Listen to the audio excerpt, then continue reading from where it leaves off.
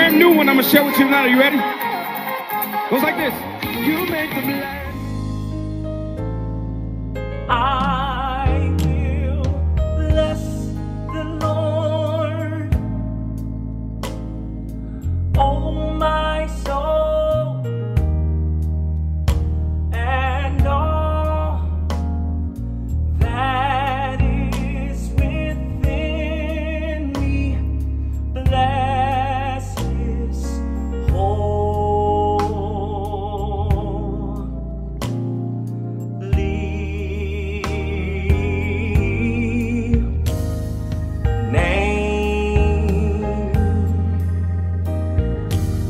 Right in your home, begin to sing it with me. Come on, I will. I will bless the Lord. Come on, say, oh my soul.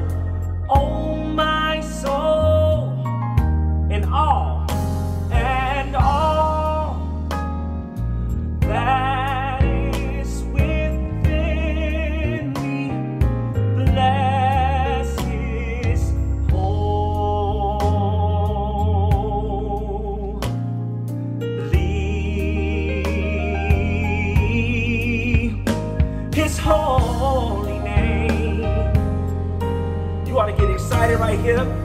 If he's done anything great for you, just in the last 24 hours, just declare it and say that he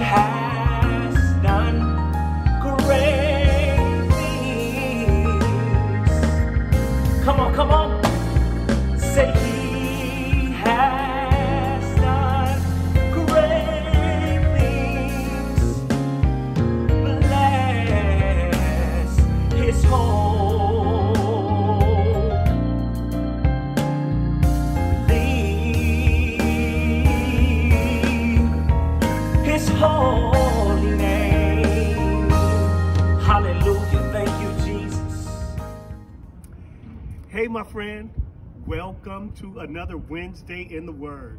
I pray that you and your family are well and blessed and experiencing the blessings of our God. As you can see, I am outside. I am on the beautiful campus of Second Baptist Church. Listen, this campus misses you, and so do I. But listen, tonight we're going to pick up on part two of dealing with our eschatological study coming from our very own Bishop William LaRue Dillard. So get your Bibles, get your notes, and I promise you're going to be blessed in the Word. I look forward to seeing you real soon. Here's our Bishop. People of the Holy Faith, God's grace to you. Last week, Wednesday, in the Word, my eschatological lesson dealt with prophetic signs and shadows of the end of the age.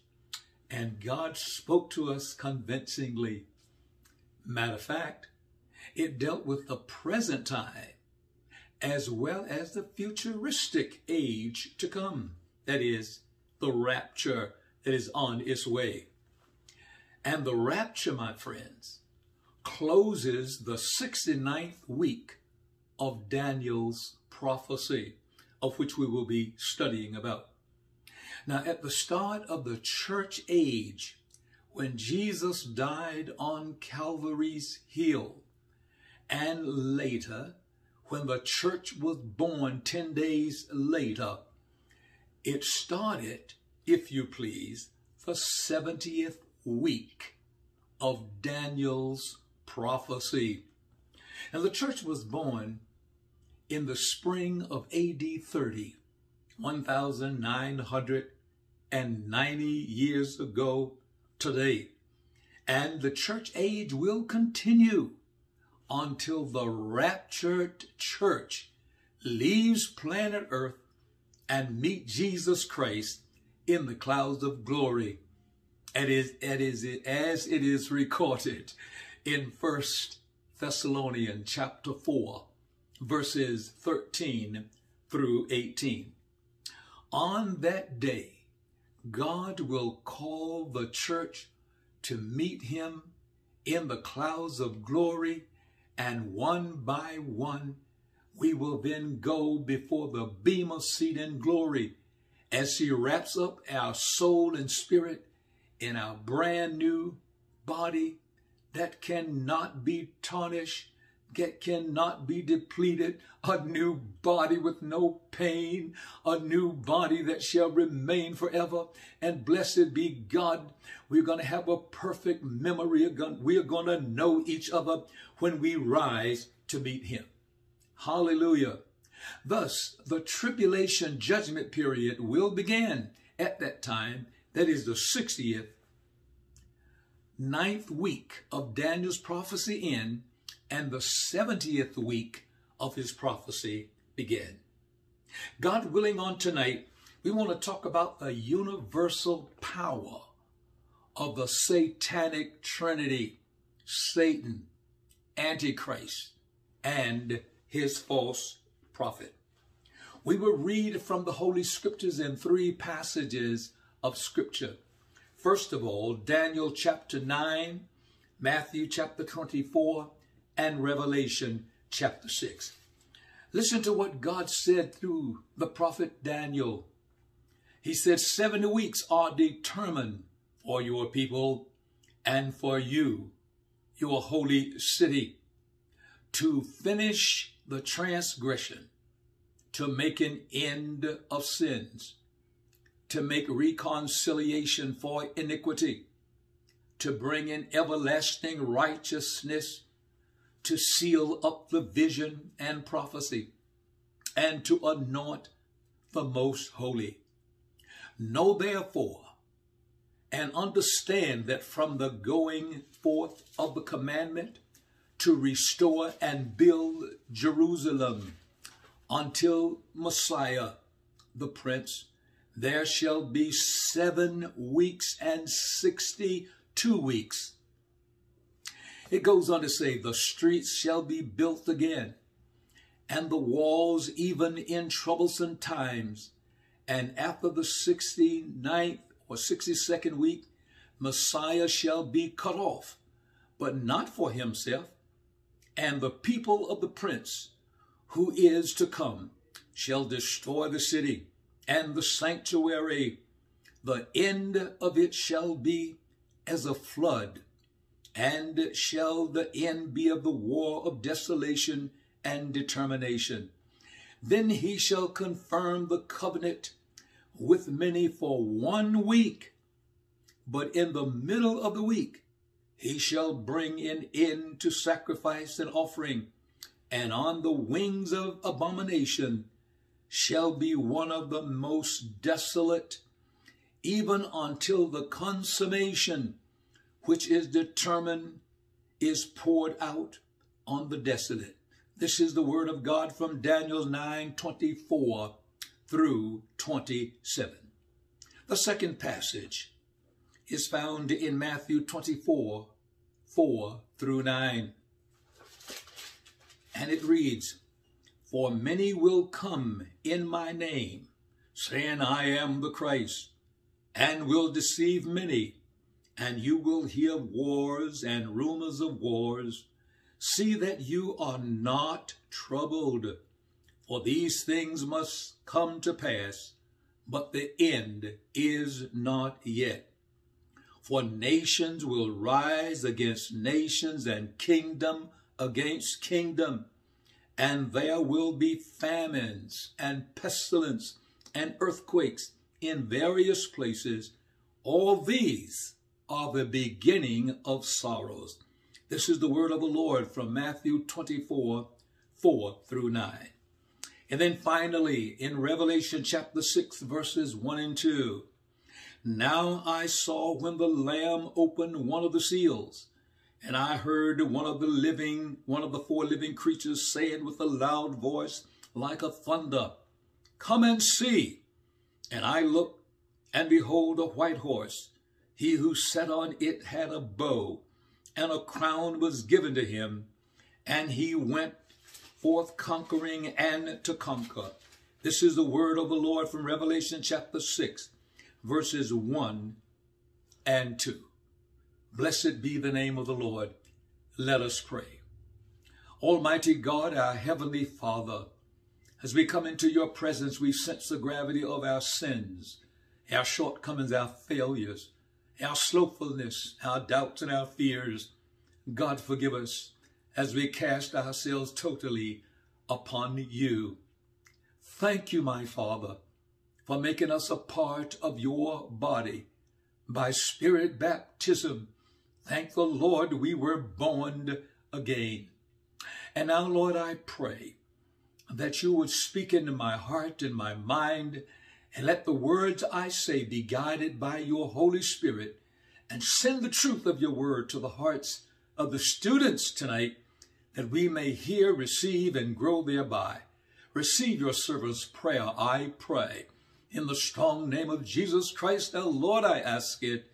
Amen. Blessed be the name of the Lord.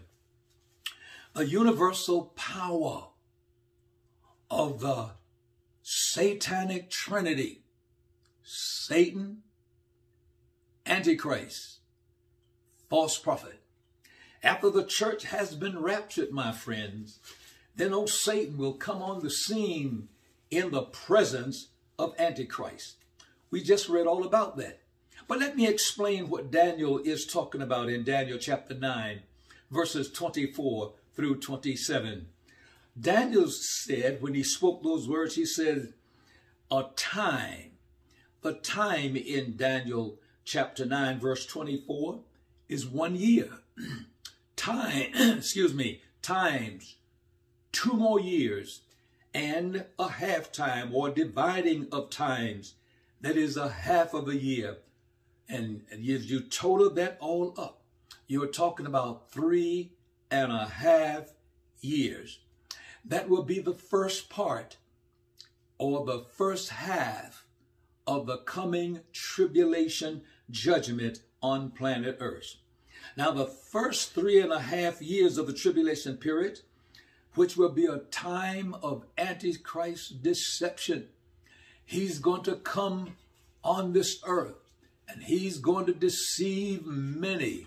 And they're going to be deceived and follow him because of all of the miracles that he will be permitted to work. Remember now, the Holy Spirit is removed when the church is raptured the Holy Spirit is removed from hindering Antichrist. So Antichrist will have full universal power on planet Earth along with his false prophet coupled with Satan. And then he's going to be so nice and cunning and deceptive and the people are going to believe because remember how we read in Revelation 6 he rides out on a white horse from the bottomless pit. This white horse, of course, it bespeaks righteousness because it is white. But old Satan, old oh, Antichrist will be on that horse and he have a bow in his hand and a crown on his head. Now you know and I know you're not going to do very much damage with a bow. You need an arrow but he is the false Christ. He's imitating the real Christ that's going to come in Revelation chapter 19. But the Bible says that he's going to ride out conquering and to conquer. The people are going to be persuaded by him, pulling fire out of heaven and restoring, that is a false idea of restoring life back to a person. And people are going to believe him. And my God, universal power is going to be his. But then, in the midst of the week, after the first three and a half years is over, in the midst of that, before the last three and a half years begin, he's going to break his covenant with Israel. And when he breaks that covenant with them, he's going to cause them to set up and to worship him. Now listen again what Daniel said in 726. He talks about certain important events that has to happen before the 70th week. The 70th week, as I said, is not going to begin until the church is raptured and the Holy Spirit is moved out of the way. But uh, when the church is raptured and moved out of the way, then the 70th week is going to begin. But there are three important things to happen between the 69th week and the 70th week, if you please. First of all, the crucifixion of Jesus Christ, Messiah, on Calvary's hill. That's one thing that has to happen. And of course, we know now, looking back, that it happened. Secondly, the destruction of Jerusalem in AD 70. That temple was utterly destroyed by the Romans. We know in history, biblical history, that that took place. And after the 69th week runs its course, and before the 70th week begins, well, listen what I said now. After the 69th week runs its course, and the 70th week begins, there must be a span of time between the conclusion of the 69th week and the beginning of the 70th week. Now, that span of time is where we are today. And we've been in this place for 1,990 years from the date, my friends, that Jesus was crucified and the church was born. This is now the church age or the age of the Holy Spirit. And of course, it is a covenant age period. And our time is coming close to an end. And when it comes close to that end and we see uh, how things are shaping up even now, and I said to someone the other day who visited with us that uh, we see from this this this pandemic that we are presently going through with, it has harnessed the attention of people worldwide.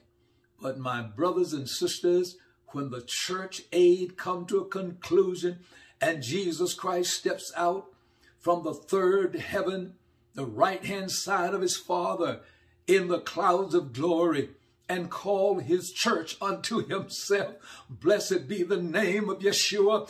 We are going to rise to meet him in the clouds of glory and be with him forever. And my friends, that will end the 69th week of Daniel's prophecy and immediately begin the 70th week, which will be under satanic control of that satanic trinity against Satan, Antichrist, and the false prophet. Thanks be to God. Jesus said these marvelous words, and it blesses me again in Matthew chapter 24 and verse 15. He says, Therefore, when you see the abomination of desolation spoken of by Daniel the prophet standing in the holy place, whosoever reads, let him understand. This is the word of God, Matthew 24, 15. Now, the apostle Paul also was used by God when God spoke to him and said, he who opposes and exalts himself above all that is called God or that is worship, so that he sits as God in the temple of God, showing himself that he is God. This is the word of God from Second Thessalonians chapter 2 and verse 4. Now he will appeal to the unsaved, and many of the unsaved will follow him. And when they follow him, let me tell you something. Some of them are going to become wise and see his trickery. But unfortunately, those who receive the mark of the beast by following him in their forehead or palm of their hands, it is over for them. They will never, never be saved. They too will visit Hades in the bottom or the, yes, in the bottom of the earth until they are later resurrected and come out and stand before the Bema seat in glory. And what a time there's going to be. But remember now, they brought it on themselves. And so as we come to this particular time, there are various things that are going to happen in my next and final lesson. Throughout the tribulation period, we talked about the demonic Antichrist and his demons coming up from the bottomless pit. And they are going to pervade planet Earth. I mean, more than 200 millions of demons. And these are ugly creatures. I mean, some will have a man's face and the body of an animal, of a horse, and some will look much uglier than that. Listen here, in a human body, I don't see how people can stand it. I mean, if I saw anything coming like that, I'd just tell my heart, stop heart, you no sense of living anymore. But they're going to face all of the detriment. And saints that are going to be saved, their salvation will have to come through martyrdom. That is to die for a cause. They're going to finally believe and know that Antichrist is false and that he is going to, uh, he has already deceived them, but he is going to be destroyed. Now, this destruction of Antichrist and the devil, first of all, himself, will be done by the archangel, good God Almighty, when the archangel grabbed him in the 13, read that all about that in Revelation chapter 13, grabbed Satan from his place. You remember when God excommunicated him from heaven, God permitted Satan to become the prince of the powers of the second heaven. That's the moon and the stars, the planetary world. But when it comes to Revelation 13, he's going to have a battle with old Michael. And Michael is going to cast him down to earth. Satan then is going to know that his time is very short. He only have about three and a half more years to work. And that is the reason that Jesus tapped into this period of time. He tapped into the first half of the tribulation period. And also when he talked about it, he said, now, you know, uh, when men shall say, here's Christ and there's Christ, don't believe it for false Christ will come. Speaking of Antichrist, and Antichrist rose up and deceived many. But those 144,000 that it talks about in Revelation 7, God is going to put the seal of his name in their forehead and they're going to minister. And the result of their ministry, an innumerable number will be saved that no man can number and blessed be the name of God. But their salvation will have to come through torture, beheaded, boiled in oil, sawed asunder. Good God from glory. Listen here, my brothers and sisters. The word of God is true everywhere from Genesis 1 to Revelation 22. And what the word of God teaches is believe or nothing is teaches is believe. So you best be ready now. Don't say that I'll wait until the rapture come and the people are going and then I'll get saved. Let me tell you, you don't fall down on your knees now. If you don't bow yourself to him and get saved now and you think that's hard to do and you don't want to miss no fun, what do you think it's going to be like? when they grab you and tell you you're going to fall down and worship Antichrist, or we're going to cut off your head, or we're going to saw your children in sunder, we're going to destroy everything that you love. Listen here, it's not going to be easy during that time. Now is the day of salvation. This is the time to receive Jesus Christ and let him come in to your heart. Remember when Jesus comes in the second coming, he is coming as the warring king not like that old Antichrist in chapter 6 of Revelation, but chapter 19, beginning with verse 11, he's going to come with many crowns on his head. He's going to come with a sword, and you can do a lot of damage with the sword.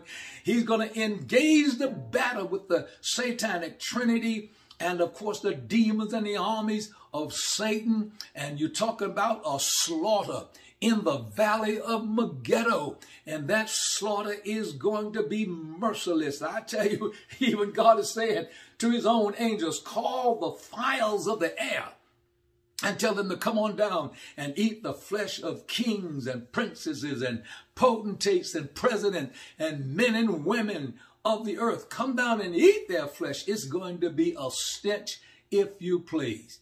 But after the battle of Armageddon is over, and old Satan is going to be bound for a thousand years, and the Antichrist and his false prophet is going to be baptized in hell's fire. And then those that follow him are going to follow him also. But then, brothers and sisters, the word of God tells us that if we move forward for a time, He's going to set up his glorious kingdom on earth. Hallelujah. And that's what we're going to talk about the next time, where that kingdom will be set up on earth and what it's going to be like. What will the people around that kingdom be doing? And uh, where will that kingdom be located? It is prophetically stated in the Holy Scriptures. And I ask you the question, will you be among the ones that will reign with Jesus Christ? Well, you can if you've been born again. But if you do not know him as your personal savior, if he does not live within your heart, if you are not part of his family, you cannot go. I'm not talking about being a church member. I'm not talking about subscribing to any rules or regulation.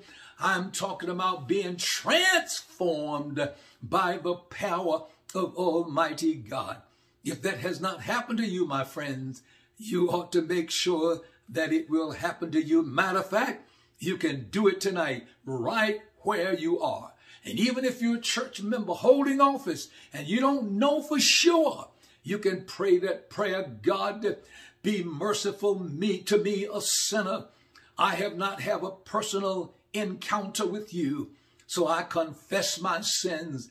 I believe that Jesus is the Christ, the Son of the living God, and I invite him into my life to become my whole world. Save me even now, God, from the gutter of sin to the uttermost of your divine grace.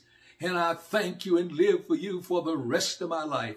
You can do that, or you can turn around from a backslidden condition. Now we know that a backslidden life isn't uh, a word or words used in the New Testament, but words out of fellowship is you. We're out of fellowship with Jesus. You can turn around and come back in fellowship with him and give him your whole life and tell him you would much rather wear out for God than to rust out for the devil. No matter whether you're sick or well, you're going to do your best until the day is done. I trust you'll do that. I'm going to pray for you just now. Father, in the holy and righteous name of the Lord Jesus Christ, I come in this intercessory prayer over those who have never confessed their sin and met you and invited you into their heart. God, I pray that you will convict and convince them in your word and draw them unto yourself, God. Save them even now. I pray that those who are out of fellowship will turn around and come back and apologize to you, Lord, and live holy and zestfully unto you and be ready when you come. For we believe in our hearts, God, that the coming of Jesus is soon to come. And we're going to hear that shout of the archangel and the voice of the trumpet of God calling us unto himself. And I pray that they'll make ready, God, to meet him in the clouds of glory. Convince and convict them now, I pray, in Jesus' name, amen. God bless you. Perhaps there are questions in your mind and in your heart. You might want to even address those questions to me. It's okay. Ray Law Vinru at AOL.com. That's R A L A V E N R U E at AOL.com. And whatever question you have, I will do some deeper study in that and answer you the next time. God bless you real good. I love you and I want you to know from the depths of my soul, I miss every one of you and I'm so overjoyed with what God is doing through Pastor Chris. I listened to him this morning as he spoke to the men and that was just fantastic. God love you and God keep you in his care until the next time. Amen.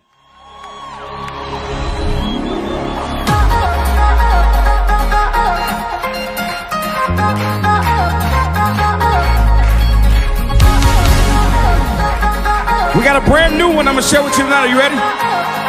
Goes like this. You make the blind man see. The holidays are just around the corner, and there is one place that you can get the perfect gift for everyone. That's the SBC bookstore, open Saturdays from 11 to 3. It's time to fall back on November 1st at 2 a.m.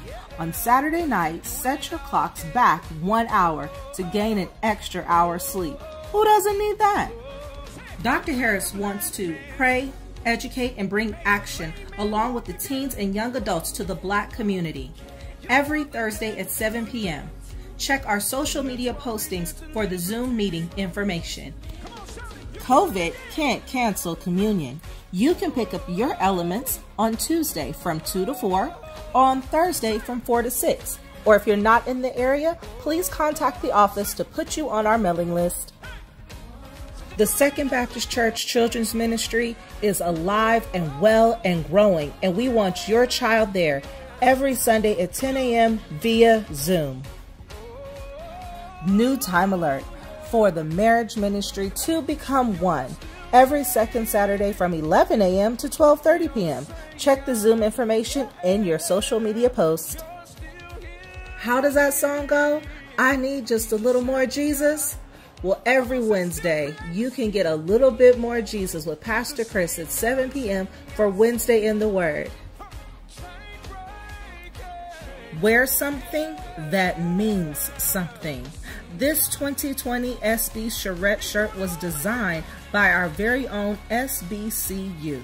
Show your support and purchase a t-shirt available in the SBC bookstore. All proceeds from the t-shirt will go back to support our future leaders.